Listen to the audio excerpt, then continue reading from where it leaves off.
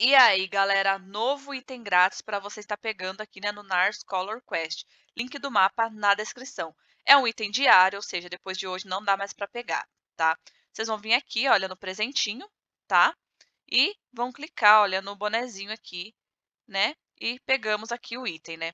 Tá acontecendo, gente, uma coisa muito chata. Tô gravando por essa conta aqui, porque na minha oficial não deu para eu pegar. Eu cliquei, tudo não apareceu o emblema e o item não foi para o meu inventário. Então é um bug aí que está acontecendo. Não sei se eles vão arrumar, tá? Mas tá aí o item.